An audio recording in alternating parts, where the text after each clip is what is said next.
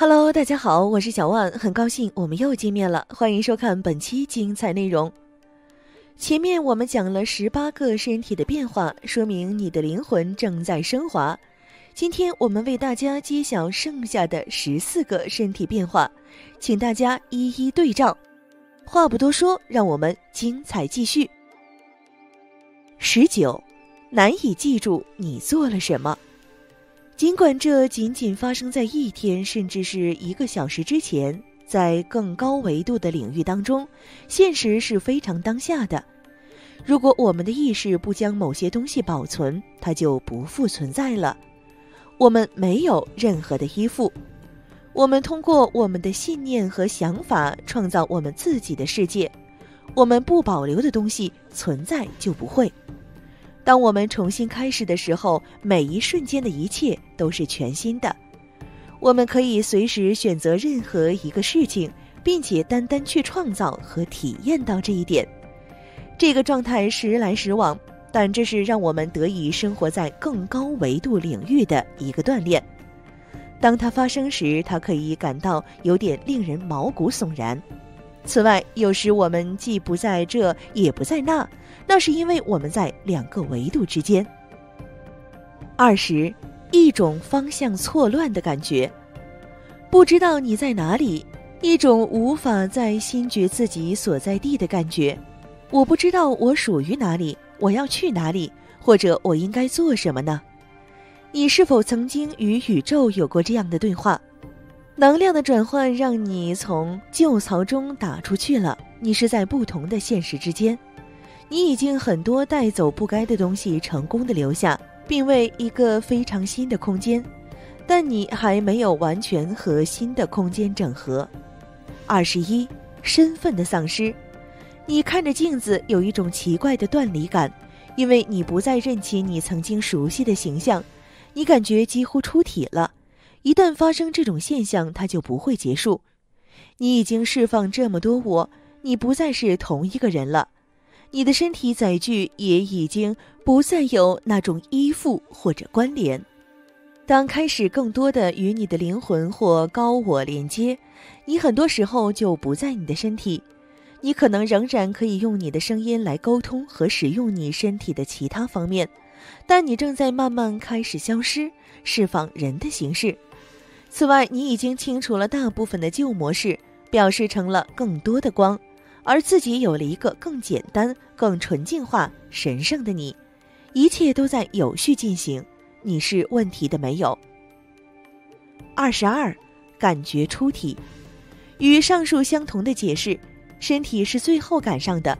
我们大多数人现在处于更高维度的一，但居住在我们的身体之外。我们现在的身体还没有到达那个一个一个。二十三，看到和听到东西，因为我们现在可以很容易的连接到不同的维度。许多人常常看到他们眼角有东西出现，或者在什么都没有的情况下听到某些声音，这都是常见的。当我们通过隧道和链接更高维度的时候，许多人也可能有耳鸣来。这也是正常的。根据您的敏感程度以及你链接的方式，这可能是一个常见的经历。许多人也看到了水泡和震动斑点的颜色。二十四，感觉要疯了，感觉某种疾病正在形成。我们正在快速体验到几个维度，它们非常的开放。现在有很多的东西可以让我们去接触，我们只是不习惯而已。你的意识已经提高，你的障碍也已经消失了，你会成功的，因为你最终会感觉到那种有过从未的回家的感觉，因为家就在当下，就在这里。二十五，无法容忍三次元频率的一切，不能够容忍三维世界的这种文件的行动中，这反映在对话态度、社会结构、治疗方式等等。他们让你在内心里面感到很不舒服。当我们开始到达更高的领域和处在更高的振动频率的时候，我们的能量已经不再与旧的外部三维世界保持一致。通过对旧模式的严重不满，我们正在被推动向前迈进，创造新的世界。另外，你可能会喜欢待在家里，或者只是一个人，因为外界的许多东西都不再和你的高频率所匹配。这只是一个非常常见的进化经验。在外部的治愈期之前，我们是前进。这就像在你有一个濒死经验之后，需要回到过去。随着扬升过程的继续，回到低的维度，蚁人感觉不太良好，也不会坚持多长时间，因为要降低我们的频率去强迫生态，是一件很困难的事情。二十六，感觉自己懒，你不想做任何事情。你在休息的阶段重新启动企业，你的身体知道它需要什么。在这段时间，你可能会觉得失去了你的激情和喜悦。不知道在世界上你想和你有什么的生活关系，而你也真的不在乎。当我们的能量重新校对的时候，这个阶段就会发生。在更高的层次上，许多也是在重新调整当中，所有东西都被放到他们该放到的地方。所以，当你再次前进时，所有的事情都将准备好。二十七，渴望回家。好像一切都结束了，你不再属于这里。我们基本上完成了我们的轮回，包括提高地球的频率，超越临界的目标。通过自身去地，提升那些很深很厚重的能量的工作，我们已经做了很多了。现在我们不再需要这样做了，也许只想离开这里，远离这种经历。接下来肯定是神圣事件的发生，而这并不像第一阶段的遥远。二十八，朋友、活动、习惯、工作和住宅的突然变化，在更高的领域当中，其中一个最基础和最普遍的经验就是吸引力法则。例如，能量会吸引类似的能量，这也涉及到维度层级。我们将永远遇上和我们的频率振动相匹配的东西。随着我们的振动频率越来越高，这种现象会被越来越放大。也成为我们现实和存在的基本核心之一。通过扬升的过程，我们不断超越以往的发展，因此不再符合我们振动的人和环境，就会离开我们的空间。这有时可能会发生相当大的事件，或者纯粹一个小小的期望，就导致我们不能像过去那样和那样和他们有关系。二十九，绝对不能做某些事情了。你绝对做不了一些违背本心的事。当你尝试做一般的日常活动和活动时，感觉很糟糕。与上述相同，你不再适合旧有的模式了，因为你的灵魂现在是走向更高振动的生活，活在当下和创造的时候了。三十，在凌晨两点到四点之间醒来。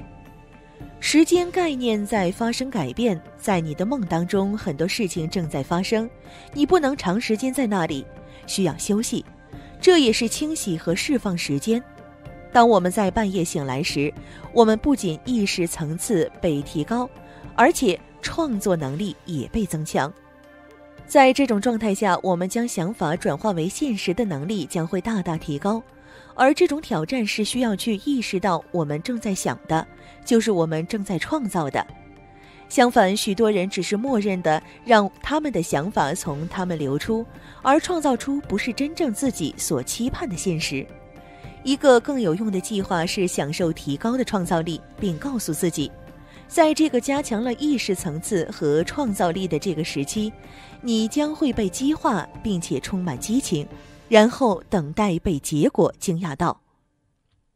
三十一，对周围环境的敏感度提升，明亮的光线、人群、噪音、食物、电视、其他人类的声音和各种其他的刺激比不能容忍的，你很容易感觉喘不过气，变得容易受到任何。请你确信这最终会过去的，您将能够跳出并控制您想要体验的。三十二，嗡嗡声或耳朵的响声，这不是耳鸣。由于你当前所经历的事情的结果，另一件很快就会发生的事情就是你的耳朵将进一步改变。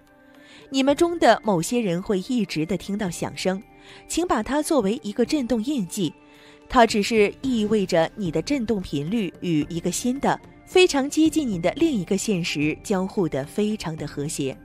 简单来说，我们以前所未有的速度进化当中，这些变化是通过我们的身体感觉来解释，而且出现的时候不知从何而来，且没有任何理由。